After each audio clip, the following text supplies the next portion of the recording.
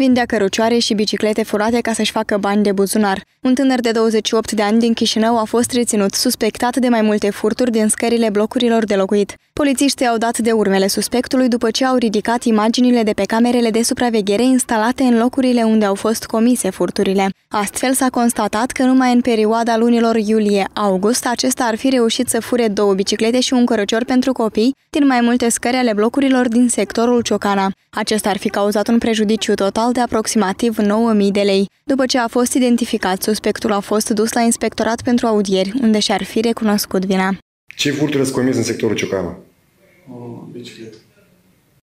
Forțele de ordine au constatat că suspectul vindea bunurile pe care le fura pentru a face bani de buzunar. Acum oamenii legii încearcă să-i găsească pe cei care au cumpărat bunurile furate pentru a le întoarce proprietarilor. Suspectul, care a mai fost judecat pentru furturi, este cercetat în libertate. Dacă va fi găsit vinovat, riscă amendă de până la 67.500 de lei sau până la 4 ani de pușcărie.